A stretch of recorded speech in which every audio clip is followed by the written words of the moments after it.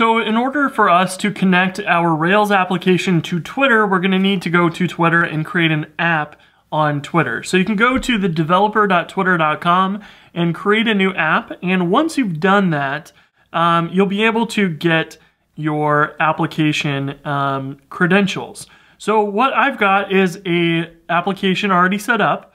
We have enabled the three-legged OAuth. This is the process that goes from your Rails app to Twitter and back and forth to get your access tokens and let the user approve using their Twitter account on your app. So once you've enabled that, you can also enable that you want to get an email address from users if you want to collect that.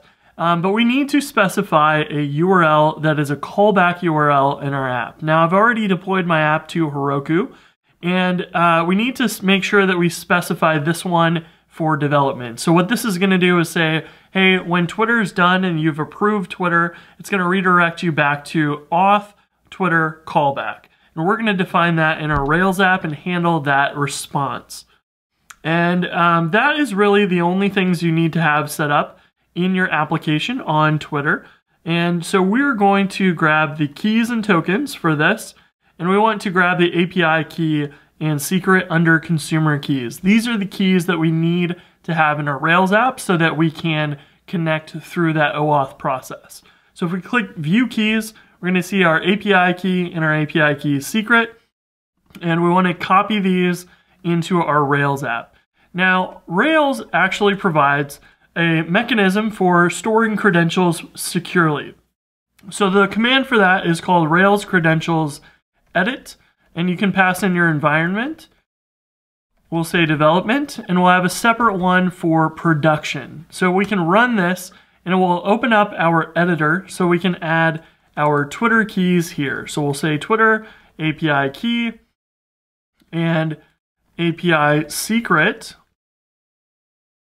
We'll paste that one in and we will save our file.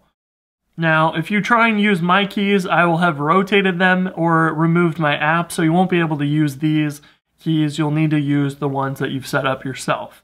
So this will create a file called config credentials which is the key to de decrypt your credentials.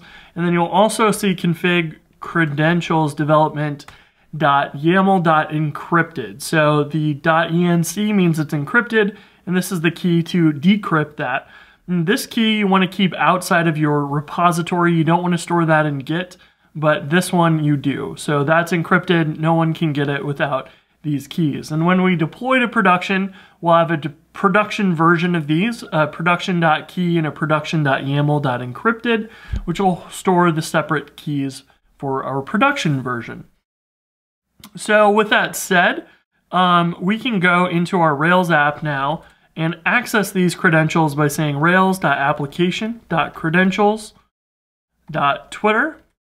And that will give us our API key and our API secret as a Ruby hash.